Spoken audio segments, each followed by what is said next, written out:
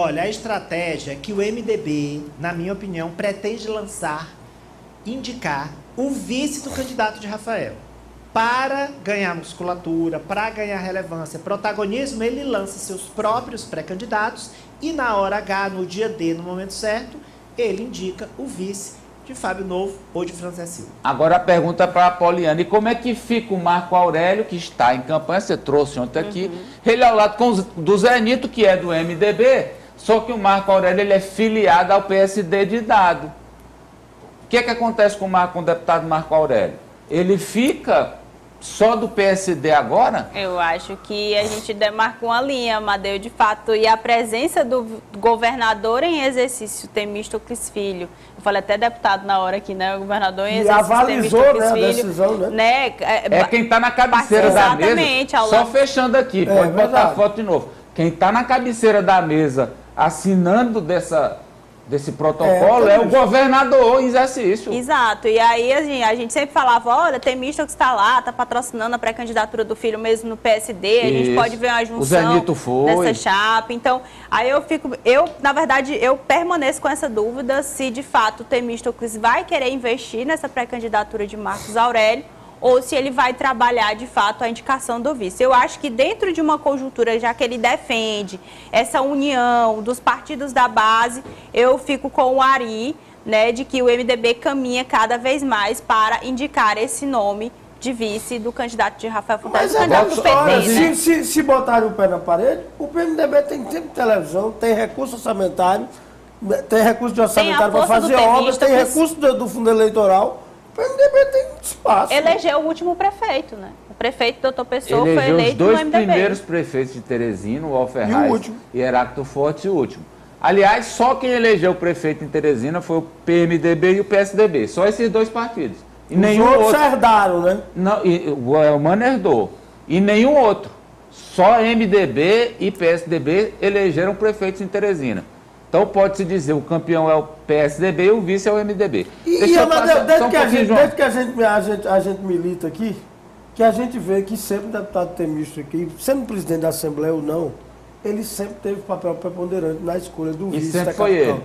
Não, mesmo quando. Sempre foi dele. Mesmo nas eleições, por exemplo, a segunda eleição do Firmino, teve a participação fundamental do Temístocles quando é, indicou o Marcos Silva de vice. E nessa última eleição do Firmino, também o Temício foi importante, que indicou o professor Luiz Júnior, de vice do Temício. Mas eu vou atualizar, mostra a foto de novo, eu quero saber da Marta.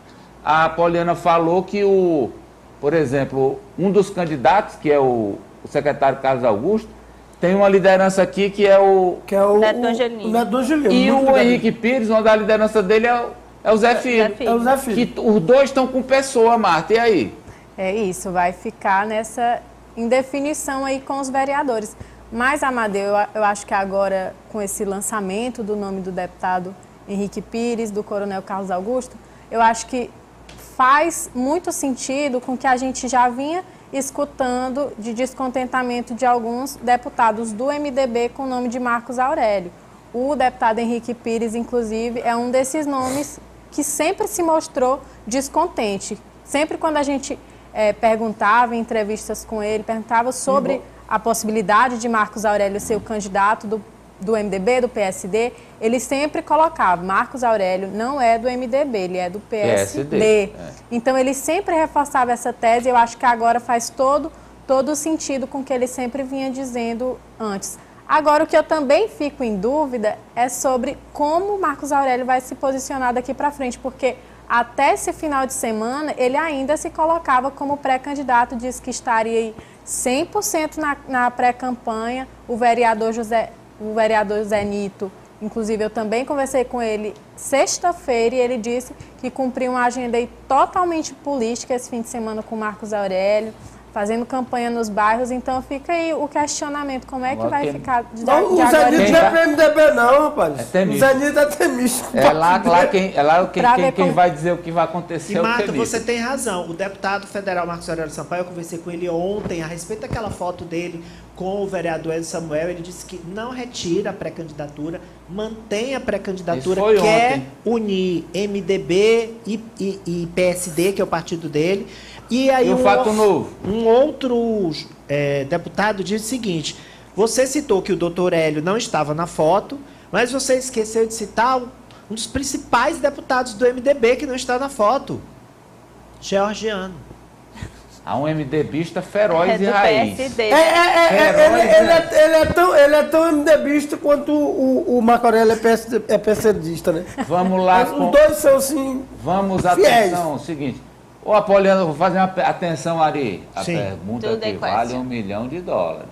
Será que hoje a Apoliana vai acertar? Eita. Onde está a, a melhor bomba de Teresina. Nem precisa terminar, dá a favorita. A favorita é a melhor bomba, isso aí todo mundo já sabe. E lá na favorita do Pedro Henrique, alô Pedro Henrique, todo dia ele